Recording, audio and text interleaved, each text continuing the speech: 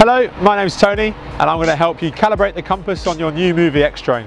The compass is critical to the flight of the Muvi X drone as it helps it orientate itself in the air. It's really important that when you come to set up the compass that you have a good look around the location you're in and you make sure there's nothing around you that can interfere with the electrical magnetic ability of the compass. This includes keys in your pockets, mobile phones, anything else that can cause it a disruption.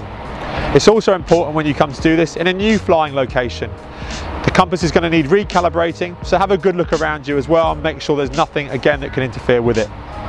The compass, once set up, is critical to the return home function of the X-Drone, which is unique to this fantastic flying machine. So take your X-Drone, pop it gently on the floor. Before you ever turn the X-Drone on, always make sure your remote control is on. Solid red light, and then you have a green come on, and then go off. We're then ready to turn the X-Drone on. So making sure you're clear of the propellers, just on with the switch at the back. You hear a beep and then just one more and then we're ready to calibrate the compass.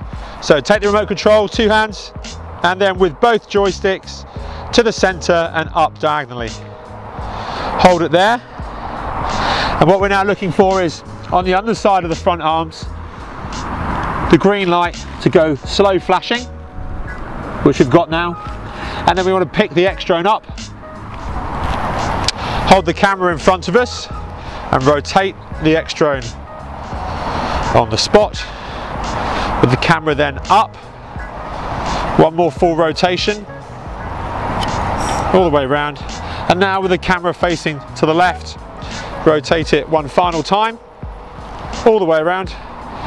And then gently set the X-Drone back down on the floor and you're now looking for yeah fantastic. A solid light green light underneath the front arms. If it's flashing stop take a look around you make sure there's nothing that can interfere with the compass. Your pockets are empty no keys no mobile phone.